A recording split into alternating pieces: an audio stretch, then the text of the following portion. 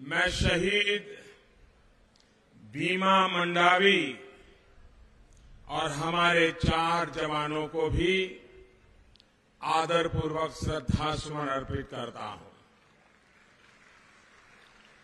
लोकतंत्र की रक्षा के लिए जो बलिदान आपने दिया है, उसको ये देश हमेशा हमेशा याद रखेगा।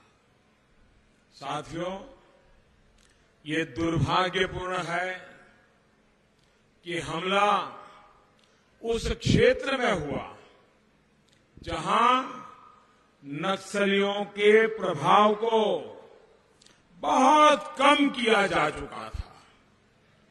सवाल ये कि आखिर ऐसा क्यों हुआ?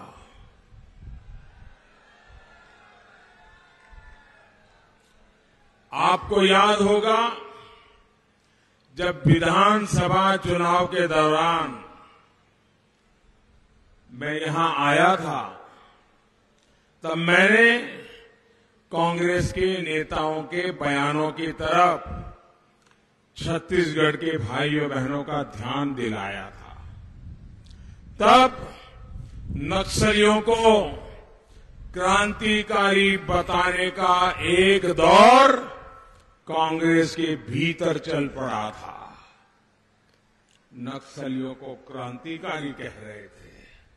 आज जो यहाँ हो रहा है, वो कांग्रेस द्वारा नक्सलियों का हौसला बढ़ाए जाने की वजह से ही हो रहा है।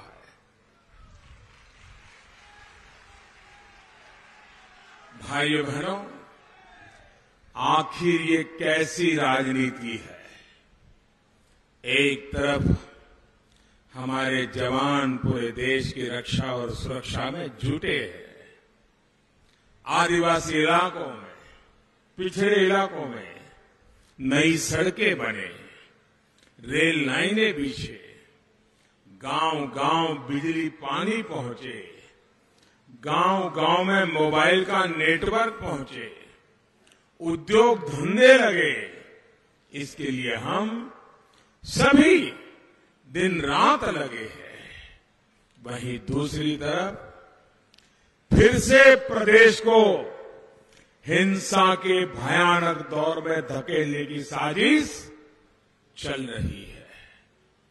नक्सलियों, माओवादियों के इन समर्थकों से आपको सावधान रहने की ज़रूरत है।